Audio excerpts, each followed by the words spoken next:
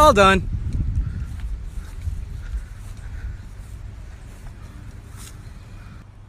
Little cement patio underneath Well, his customer's deck.